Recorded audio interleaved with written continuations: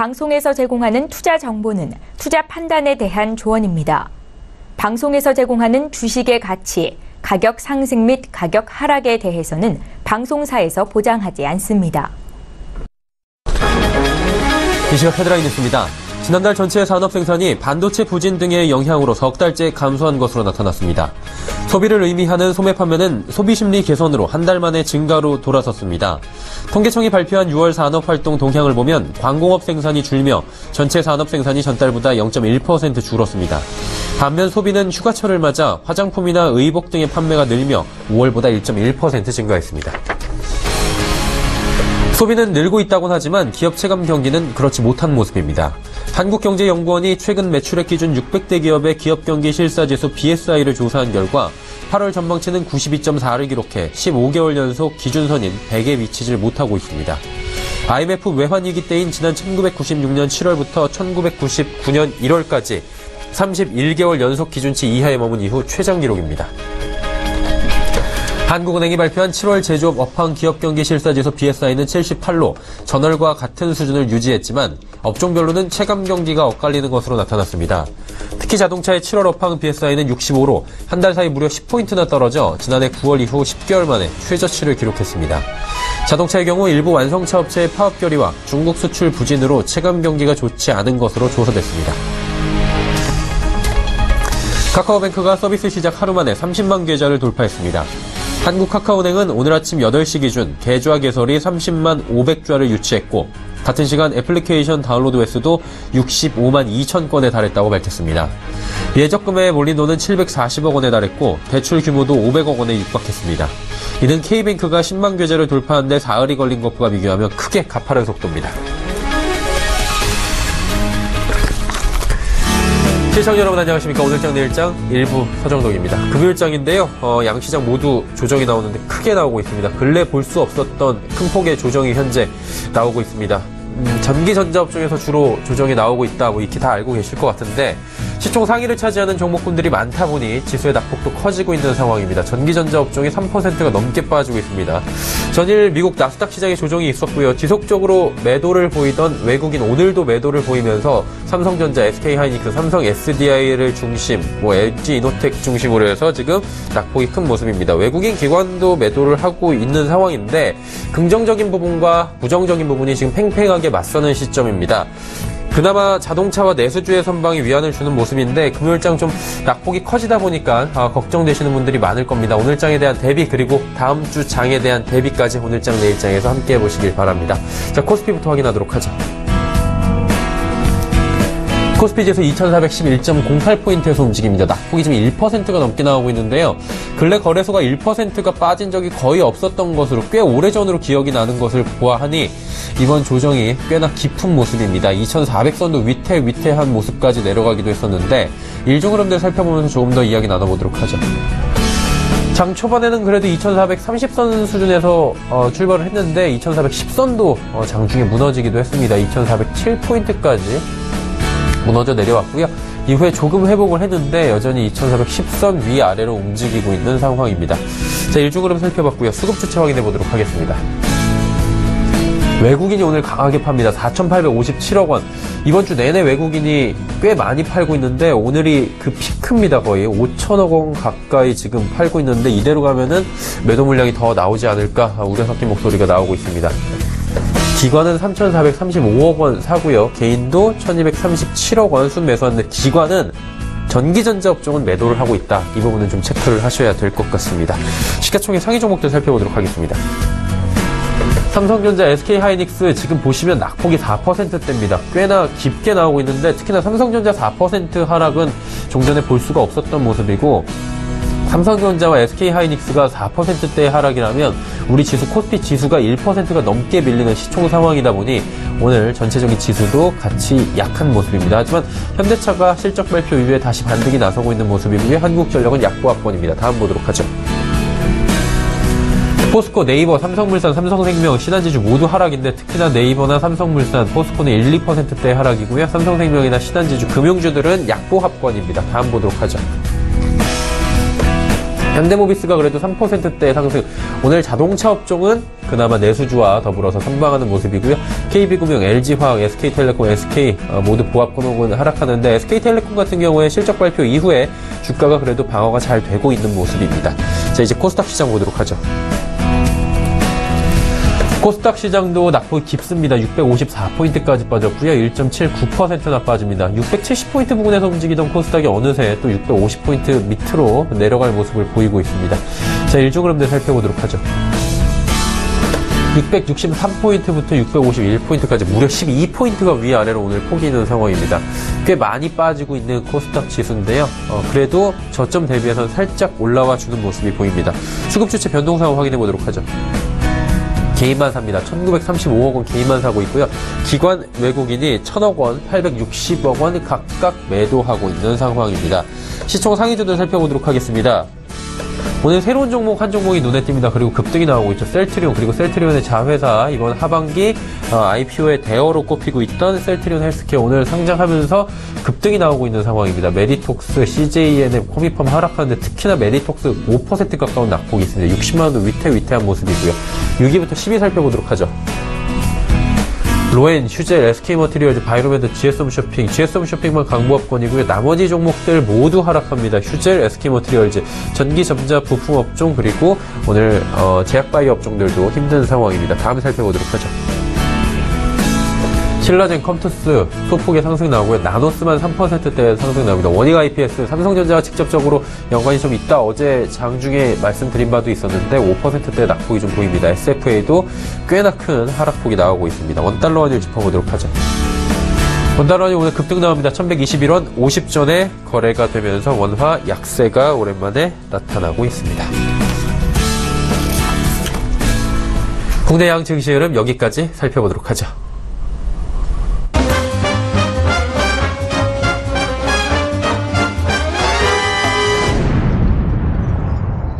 오늘장 이슈들 살펴보도록 하겠습니다. NH투자증권 리서치센터 조현주 연구원입니다. 안녕하세요. 네, 안녕하세요. 연구원님 오늘 낙폭이 꽤 큽니다. 조정이 크게 나오는 것 같은데 어떤 이슈들로 이렇게 밀리는지 궁금하거든요. 네, 일단 IT 업종 중심으로 시장의 낙폭이 좀 커지고 있는 것 같은데요. 어, 외국인 차익 실현 매물이 IT 업종을 중심으로 좀 나타나고 있습니다. 어, 일단 연초 이후에 외국인 같은 경우에는 원달러, 원달러 환율 하락에 따른 환차익 부분에서 한 7.8% 수익을 얻었고요. IT 업종 같은 경우는 연초 대비 주가 상승이 19% 정도 수익을 얻었기 때문에 외국인이 얻을 수 있는 수익은 한 27% 정도입니다. 통상 20에서 25% 정도 수익을 얻게 되면 외국인들의 외국인 투자자들의 차익 실현 욕구가 어, 확대되는 구간에 진입하게 되는데요. 어, 이와 함께 뉴스플로우도 좀 부정적인 영향을 끼쳤던 것 같습니다. 일단 첫 번째로 삼성전자의 3회차 자사주 매입 및 소각이 오늘부터 진행이 됐고요. 1회차 같은 경우는 올해 1월에, 2회차는 2월에 진행이 완료되었는데요. 3회차는 약 2조 원 수준이 오늘부터 진행이 됩니다. 어, 이런, 이런 가운데 삼성전자 실적 역시 둔화 가능성이 좀 제기되고 있는 것 같습니다. 반도체 부분의 실적 확대에도 불구하고 휴대폰 부문이랑 디스플레이 부문에서 3분기 실적 약세 전환이 예상이 되는 바인데요. 어, IM 부문, 휴대폰 부분 같은 경우는 3분기 갤럭시 노트 8 출시 예정 이 있지만, 어, 상반기 갤럭시 S8보다는 절대 판매량이 좀 적고요. 중저가 제품 증가에 따른 제품 믹스 변화로 실적 약세가 좀 전망이 되는 상황입니다.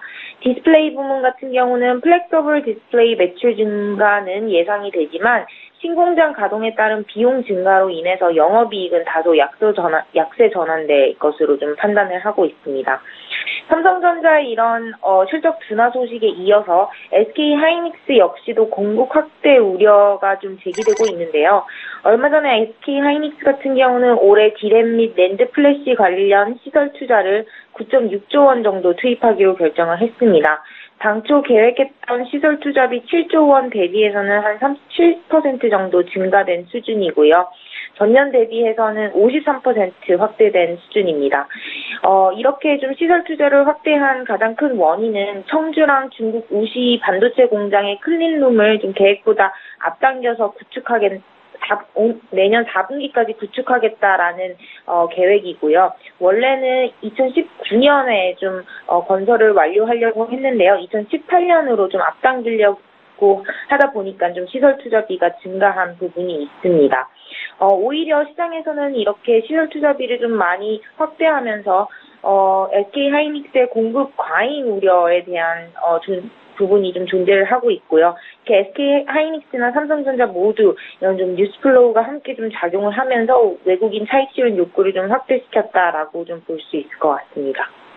네. 삼성전자, SK 하이닉스 위주로 IT 업종에 대한 어, 여러 가지 이유를 짚어주셨는데, 자, 이슈 짚어주셨으니까 이런 이슈들이 향후에 어떤 뭐 flow를 가지고 올지 어떤 영향을 미칠지도 궁금합니다. 어떻게 보십니까? 네, 저희는 일단 IT 업종이나 금융주의 조정 흐름은 좀 단기적일 것이라고 보고 있고요. 예. 오히려 강세장의 흐름이 지속되게 되면 주도주의 추가 상승이 가능하다라고 판단을 하고 있습니다. 일단 반도체 업황의 개선세는 좀 지속되고 있는 사- 상황이고요. 서버형 디램 수요 확대 그리고 모바일 디램 수요 회복이 반도체 업황을 지속적으로 상승할 수 있는 요인으로 작용할 것 같습니다. 그리고 코스, 코스피 전체 하반기 실적을 보더라도요. 오히려 2분기를 저점으로 하반기에는 계속 상승하는 추세이기 때문에 저희는 과열 부담에 따른 걱정보다는 오히려 추세를 좀 신뢰하라고 말씀을 드리고 있는 상황입니다. 어제 발표된 미국 내구재 주문을 좀 보시면요. 전월 대비해서 6.5% 상승하면서 예상치 좀 크게 상회를 했습니다. 내구재 주문이 좀 중요한 이유는요. 어, 대표적인 실물 경제 지표입니다. 따라서 미국 실물 경기가 완만하게 회복되고 있는 추세는 여전히 진행 중이다라고 해석할 수 있을 것 같고요. 또 코스피의 12개월 예상 PER 같은 경우는 아직 10배 이하입니다. 2005년 이후 평균 수준에 수렴하고 있기 때문에 과열은 아니다. 아직은 어 valuation 부담이 그렇게 크지 않다. 이렇게 좀 해석을 할 수 있을 것 같습니다. 결론적으로 저희는 8월 강세장 환경이 지속될 것을 좀 염두에 두는 전략 추천드리고 있고요. 강세장 환경이 지속될 수 있는 이유는 말씀드린 대로 글로벌 경기의 완만한 회복, 그리고 어, 자산 매입을 축소하는 과정에 과정이 오히려 정상화 과정 그리고 좀 점진적으로 진행된다는 과정이라는 것 그리고 마지막으로 valuation 여전히 높지 않다는 점 이렇게 어, 설명을 드릴 수 있습니다. 따라서 반도체 금융 이런 주도주들의 어, 조정이 있을 시에는 오히려 매수하는 전략 추천드리고 있습니다. 오히려 이제 기회를 삼아서 조정시 매수 관점으로 짚어주셨습니다. 오늘 말씀 잘 들었습니다. 네, 감사합니다. NH투자증권 리서치센터 조현주 연구원이었고요. 어, 이슈 칼럼 바로 이어집니다.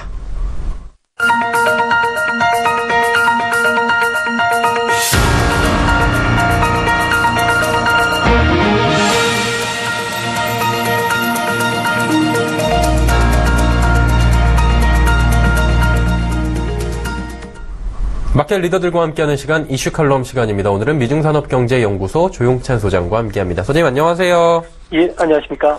오늘 2분기 미국 GDP 성장률이 발표가 되는 것 같은데, 뭐, 긍정적으로 보는 시각들이 여전히 우세한 것 같더라고요. 경기 확장세가 이어질지에 대한 뭐 여러 가지 궁금증도 있는 것 같고, 전반적으로 어떻게 보시는지 한 말씀 들어보도록 하죠. 네, 그 미국의 경기 선행 지수 같은 경우에는 그 미국의 경기에 한 6개월 정도 선행을 하고요. 주식시장도 같이 움직이게 되는데요. 어, 작년 중반에 1.2%를 바닥으로 해서 현재 3.2%까지 확장 추세가 뚜렷합니다. 뭐 경기 확, 어, 선행 지수 같은 경우에는 10개 구성 지표로 구성이 되고 있는데요. 그 중에서 기여도가 가장 높은 금융 요인이 어, 작년부터 상반기까지 성장 엔진 역할을 해왔습니다. 어, 최근 들어와서 글로벌 경기 확대, 그리고 또 수출 증대, 그리고 기업들의 어, 재고 환경이 개선이 되면서 어, 다른 그 선행 지표를 구성하는 다른 요소들이죠.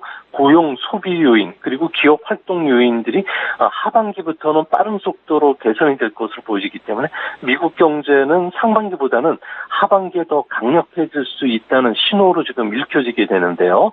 어, 그런 측면에서 오늘 어, 발표된 그 6월 어, 내구자 어, 내구재 주문들 같은 경우는 시장 예상을 웃돌았듯이 어, 미국 상무부가 발표하는 GDP와 유사한 모델을 사용하고 있는 애틀란타 연방 준비은행의 경기 예측 모델인 GDP 나우 같은 경우에는 2분기 성장률이 연율로 2.5%에서 2.8%까지 상향 조정시켰습니다. 뭐 이뿐만 아니라 JP 모건은 3.5%, 어, 바클레이 은행 같은 경우도 2.7%로 어, 상향 조정시켰기 때문에 앞으로 그 오늘 어, 저녁에 발표되는 미국의 GDP 성장률 여에 따라서는 어, 미국의 금리 인상 확률도 좀 높아지지 않을까 보여집니다. 네. 미국이 경기가 참 좋다, 경기 확장 국면에 있다, 뭐 이런 얘기는 지속적으로 나오고 있는데, 아이러니컬한 거는 그런데도 불구하고 달러화가 약세라는 겁니다. 이게 한선을 어디로 잡아둬야 될지도 시장에서 굉장히 궁금해하는 부분인데, 어떻게 보십니까, 이 부분은? 네, 미국 같은 경우에는 그 최근 들어와서 달러가 올해 들어와서 한 7.6% 정도 하락을 했는데요. 1%만 떨어진다면은 2005년 10, 어, 12월이죠. 그 금리 인상 아, 이후에 최저치까지 지금 떨어지는 상황이 되는데요. 아무래도 트럼프 행정부의 그 선거 공약으로 내걸었던 정책들이 아, 실현 가능성이 크게 어, 후퇴했고요. 또 금리 인상 기대감이 예전만 못하기 때문에 어, 그런 측면에서 봤을 경우에 올해 어, 말에 금리는 0.5% 정도 확률밖에 지금 안 되는 모양입니다. 그리고 어, 내년도에도 한 번 정도밖에 금리 인상을 하긴 좀 상당히 어려워진다는 점에서 어, 앞으로 22의 그 양적 완화 축소 전망에 따라서 어, 그 다른 그 통화들이 더 강세가 전개되지 않을까 보시고요. 영국도 금리 인상을 미룰 수 더 이상 미룰 수는 없는 상황이고요. 캐나다 같은 경우에도 7월 달에 아, 금리 인상을 실시를 했기 때문에 앞으로 미국과 선진국 간의 그 경기 차에 따른 금리차 축소가 어, 진행이 된다는 측면에서는 올해 말까지는 달러 약세는 좀 피하기는 어려울 것으로 보여집니다. 아, 다행스러운 것은 연준의 그 보유자산 축소가 4분기부터 시작이 되면은 어, 달러의 그 희소성이 높아지는 만큼 어, 달러 가치 하락은 4분기부터는 좀 어, 더뎌지지 않을까 생각이 됩니다. 조금 전에 22 양적 완화 축소 이야기 뭐 영란은행 얘기도 해주셨고 캐나다 쪽 얘기도 해주셨는데 결국에는 궁금한 건 22 테이퍼링이 뭐 시사는 마리오 드라기 총재가 하긴 한 것 같은데 구체적으로 언젠지 시장에서 궁금해하는 것 같고요. 또 이제 유로화의 강세가 그렇게 되면 이제 좀 지속이 될 수 있느냐 이 부분인 것 같은데 이 부분은 어떻게 보십니까? 네, 22 같은 경우에는 7월 20일 이사회였죠. 금융정책의 현상 유지를 결정을 했기 때문에 매월 한 600억 유로 정도의 자산 매입은 올해까지는 계속이 될 것으로 보여집니다. 어, 더욱이 이제 테이퍼링에 대한 그 언급은 없었는데요. 하지만 그 드라기 총재 같은 경우에는 정책, 어, 정책 변경에 대한 어, 의논은 가을에 하겠다고 발표를 했기 때문에 어, 9월 전후에서는 아무래도 어, tapering에 관련된 구체적인 코멘트들이 나올 것으로 보여지고요. 또한 6월 달에 그 드라기 총재 같은 경우에는 어, 디플레이션 압력은 인플레이션의 힘에 대체되고 있다고 발해, 어, 이야기를 했기 때문에 어, tapering은 그 9월 달 이후로 늦출 수는 없는 상황으로 보여집니다. 이 때문에 유로 달러화는 최근 들어서 한 1개월간 4%나 어, 유로화가 절상이 됐는데요. 이제 분명한 것은 유로존의 경기 확장이 계속이 되고 있기 때문에 뭐 앞으로 테이퍼링을 더 늦출 수는 없다는 사실 그리고 22가 금융 완화 정책을 정상화하겠다는 이런 발언들은 연말까지는 안 갈 것으로 보여진다는 점에서는 유로화의 정상 어, 절상 속도는 앞으로 좀 더 빨라질 것으로 보여집니다. 네. 한미 FTA 얘기로 이제 넘어가 보도록 하겠습니다. 한미 FTA 뭐 개정에 대한 이야기들 계속 나오고 있는데 뭐 우리나라 당국도 지금 어느 정도 주도권을 잡기 위한 노력을 하고 있는 것 같습니다. 음, 장소를 서울에서 하자라고 역제안을 지금 한 상황이고 끌려가지 않겠다는 것으로 뭐 해석을 하고 있는 것 같은데 미국은 굉장히 서두르고 있는데 우리나라는 굉장히 신중한 모습을 또 보여주고 있거든요. 각국의 온도차가 좀 다른 이유가 어디에 있겠습니까? 네, 우리나라 같은 경우에는 한미 FTA가 발효가 되면서 미국의 그 대한국 무역 수지 적자 폭이 확대됐는지는 모르겠지만 미국의 서비스 수지가 확대가 되고 있고요. 동시에 우리나라가 미국의 직접 투자도 늘고 있기 때문에 FTA는 윈윈 관계라는 것이 분명해졌다는 거죠.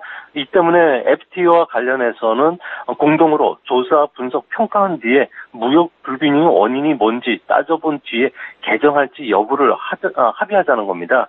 공동위 같은 경우에는 국장국 정도의 그 실무진으로 구, 아, 구성이 되고 있기 때문에 뭐 개최 시기가 뭐 어, 10월이 됐든 11월이 됐든 되더라도 어, 바로 개정 협상에 들어가는 것은 아니고요. 개정 협상에 들어가기 위해서는 뭐 경제적 그 타당성 검토 그리고 어, 공청회도 거쳐야 되겠고요. 어, 통상 조약 체결과 관련된 어, 계획을 좀 수립한 뒤에 어, 국회에 보고되고 나서야 된다는 측면에서는 어, 어, 본격적인 합의와 관련된 어, 개정 그 협의는 아무래도 내년 정도 돼야 되지 않을까 생각이 듭니다. 근데 문재인 대통령이 트럼프 대통령이 이 한미 FTA 재협상이라는 용어 자체를 뭐 정치적인 의도가 좀 있는 것이다. 뭐 이렇게 이야기가 나온 것 같은데 실질적으로 이 부분에 대해서 궁금증이 많으실 것 같습니다. 트럼프 대통령의 속내는 무엇일까요? 네, 그 트럼프의 지지율은 지금 36% 안팎으로 네. 2차 세계 대전 이후에 아, 미국 대통령 중에서 가장 낮은 수치가 되는데요. 이렇게 되면은 2018년 중간 선거뿐만 아니라 2020년 대통령 그 재선도 어, 상당히 좀 어려워질 수가 있습니다. 아, 이 때문에 어, 선거 공약으로 내세웠던 고용 창출에 대한 구체적인 어, 안을 국민들한테 보여줘야 되기 때문에 대통령의 권한이 강한 통상 부분에서의 그 압박을 계속 하고 있다는 거죠. 이 때문에 환율 조작국 지정 문제, 덤핑 판정에 이어서 FTA 개정 협상들이 앞으로 속도를 낼 가능성이 높은데요. 이렇게 되면은 경업주에서 유권자들의 그 지지를 끌어올리기에는 가장 좋은 안인 것으로 보여집니다.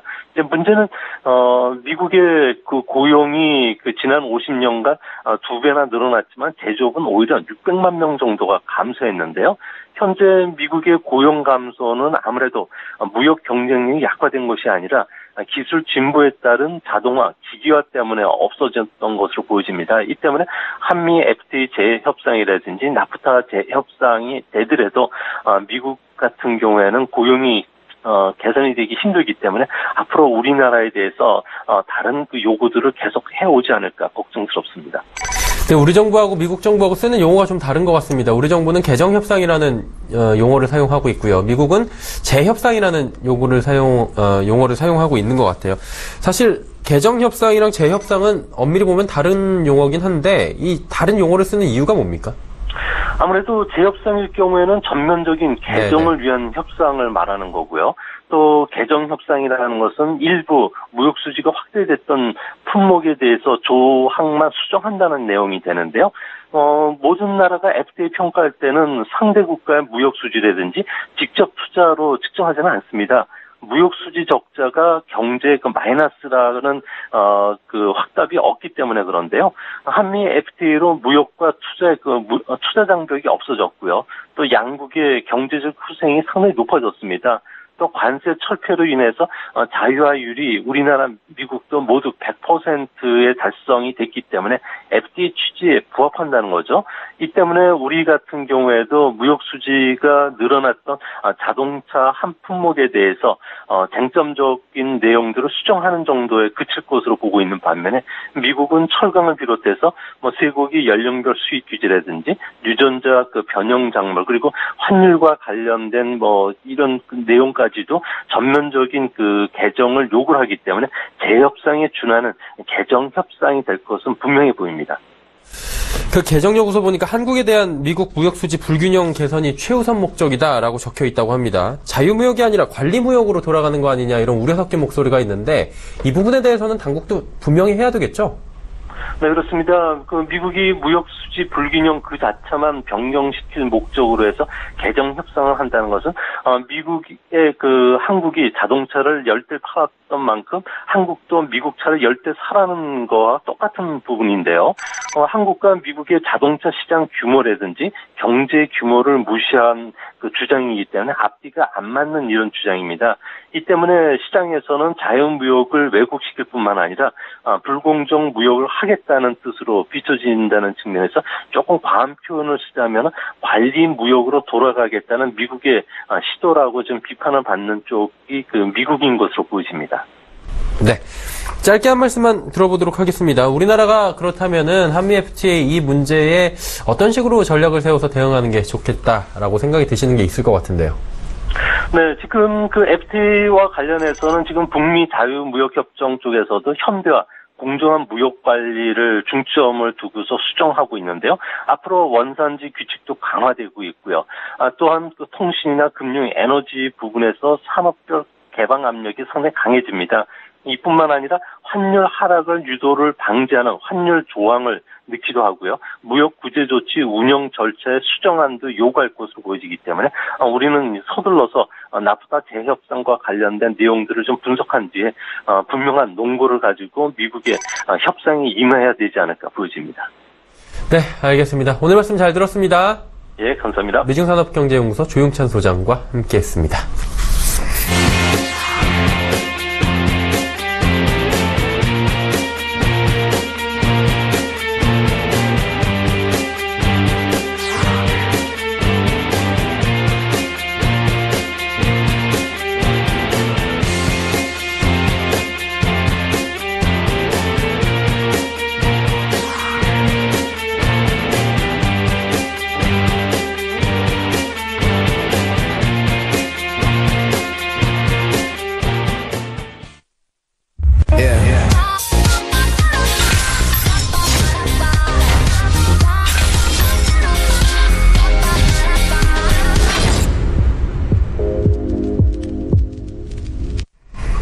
평택 촌놈의 정서투자 시간입니다. 정호영 대표와 함께합니다. 안녕하세요.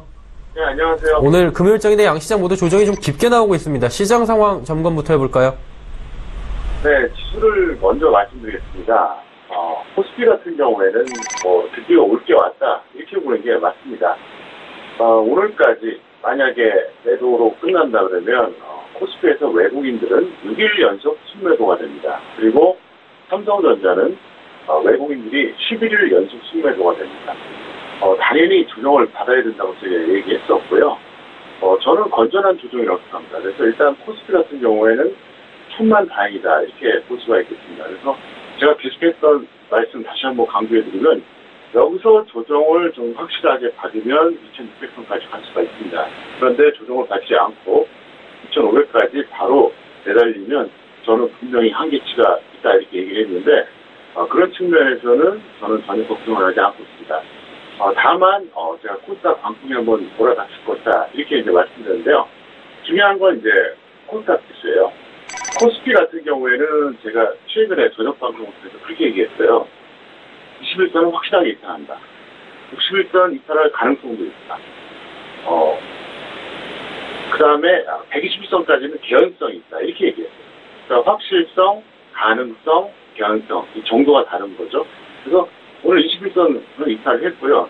제가 볼 때는 61선도 아마 이탈하지 않을 것 같습니다. 그리고 어, 120선은 아직은 판단하기 어려운데 어쨌든 어, 뭐 전혀 배제하지 않고 있다는 설명드릴 수 있는데 정말 중요한 건 코스닥입니다. 코스닥 같은 경우 과연 어, 코스피가 조정받을 때 계속 같이 흘러내리느냐 아니면 어떤 시점에서는 반대로 나오느냐 이게 포인트거든요.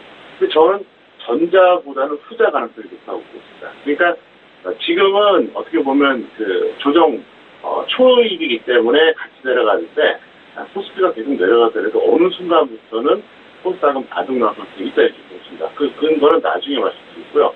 어쨌든 그래서 시장 흐름에 대해서는 그렇게 말씀드리면 되고요. 어 그래도 뭐 오늘 뭐 상대적으로 또 기분은 또 좋아요. 왜 좋냐면은 어, 이 시간 통해서도 그랬었고 또 제가 저녁 방송에서 그랬습니다. 제가 업종에 대해서 뭘 강조했었습니까? 운수 운송 장비에서 자동차를 매입하라고 제가 계속 얘기했습니다. 며칠 동안 계속 얘기했어요. 근데 오늘 어떻습니까? 지금 이렇게 지수가 안 좋은데도 운송 장비 쪽에서 자동차는 좋잖아요. 네, 그렇기 때문에 어, 제 나름대로는 어, 굉장히 고심을 해서 내린 결정이었었는데 자동차가 움직여주니까 좋고요. 자동차 음, 어, 현재 매수하신 분들은 이런 지수에도 이 정도니까 너무 걱정하지 마시고 홀딩하시면 될 것 같고요. 어쨌든 시장 흐름은 이렇게 보고 있습니다. 포인트가 뭐냐? 거시적인 것과 미시적인 것 다시 한번 말씀드릴게요. 거시적으로 본다 그러면 지금 코스피 조정이 좋다. 이게 길게 보면 아, 더 높이, 에, 더 멀리 갈 수 있다. 그래서 긍정적이다. 이렇게 볼 수 있겠고요. 미시적인 측면을 본다 그러면은 과연 코스닥이 코스피와 계속 연동하느냐? 그렇지는 않을 것이다. 이게 결국 오늘 어, 방송 내용의 핵심 포인트입니다. 그래서 거기에 맞게 여러분들이 잘 대응하시면 될 것 같고요. 어쨌든 뭐 너무 걱정하지 마시고 최근에 이제 고점에서 전기전자를 따라잡았던 분들은 상당히 낭패를 볼 겁니다. 근데 그분들은 뭐 어쩔 수 없고요. 어, 지금 자동차 가시는 분들은 편안한 마음으로 홀딩하시면 될 것 같습니다. 네. 관심 업종 살짝 언급을 해주신 것 같아요. 예, 운수장비 업종 말씀을 해주셨는데 더불어서 관심 테마 부분이 있다면 또 짚어주시겠습니까? 네, 관심 업종은 저 계속해서 운송장비 중에서 자동차. 왜냐하면 운송장비가 자동차만 있는 게 아니라 예, 예. 쪽도 있거든요. 그래서 일단 이거는 여러분들이 아마 다, 다 잡으셨을 겁니다. 여러분들이 아마 조금만 생각이 있다 그러면 현대차, 기아차, 현대모비스, 현대위아, 만도 중에 잡았을 거예요. 예. 그럼 이건 홀딩하면 됩니다. 그리고 테마 같은 경우는 이제 NFC 테마 중에서 오늘 이제 코나이가 잘 가고 있는데 사실 어, 코나이 같은 경우는 이것도 역시 제가 계속해서 언급해 드렸던 종목입니다. 바로 7월 강연에 추천 종목이었어요. 그래서 운이 상당히 좋은 편이죠. 이건 뭐 제가 운이 좋아서 접근했다 생각하지 뭐 실력이라기보다는 운도 좀 따라야 되겠어요. 그래서 어, 이건 지금 따라가지 마세요. 다만 현재 갖고 있는 분들은 계속 홀딩해 주면 되겠고요. 왜냐 이거를 정상적으로 매수하신 분들은 만 원 이하에서 매수했습니다. 오늘 고가가 14,400원까지 갔거든요. 그러니까 이거는 뭐 변동할 가능성이 거의 없고요. 특히 오늘처럼 이렇게 지수가 안 좋은 날 급등하니까 어떻습니까? 기분 좋지 않습니까? 그냥 그대로 홀딩해 주시기를 바라겠습니다. 그렇다면 이제 종목 이야기 좀 짧게 해보도록 하겠습니다. 어떤 종목 한번 보는 게 좋을까요? 네, 우량주입니다. 강원랜드는요, 보유자 매도 후에 재매수 하시고요. 미보유자는 관망해달라. 흐름이겠고요. 아모레지, 이 종목은 그냥 홀딩해 주시고요. 미보유자는 현재가에서 한번 단기 매수해보자. 왜냐면 화장품 관련주가 반등 나올 시점 됐다 이렇게 보고 있고요. 어, 개별주 같은 경우는 첫 번째 케이프입니다. 어, 이거는 보유자 홀딩해 주시고요. 미보유자는 관찰 후에 대응하자. 지금 당장 뭐 어떻게 하자. 이거는 좀 약간 어, 어렵다 볼 수 있겠고요.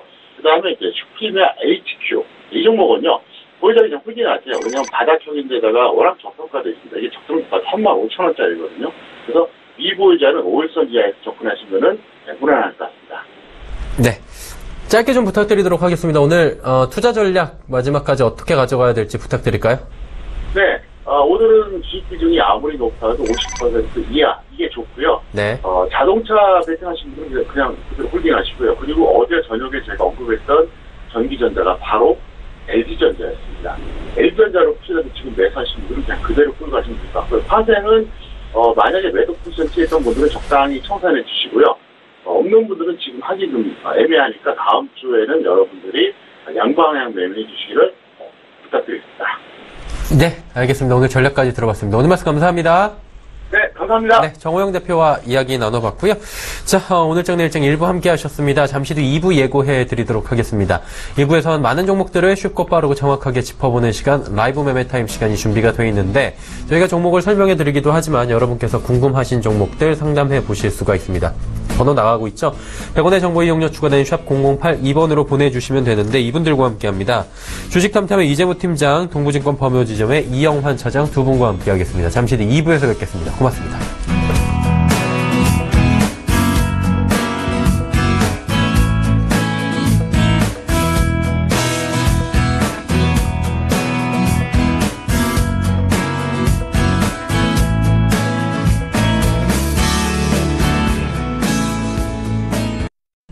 방송에서 제공하는 투자 정보는 투자 판단에 대한 조언입니다. 방송에서 제공하는 주식의 가치, 가격 상승 및 가격 하락에 대해서는 방송사에서 보장하지 않습니다.